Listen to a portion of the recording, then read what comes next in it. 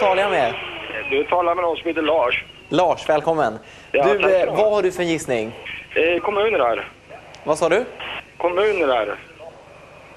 Kommuner? Kommuner här. Kommunrar?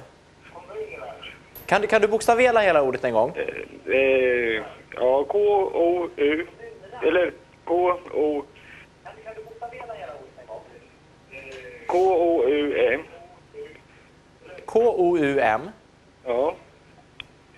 Eh, U-N. U-M? Ja, nej, hur blir det? Det. Kommunrar, okej, men då är jag på det klara. Du, det var en bra gissning, men det var inte det vi sökte. Nej, men du, tack så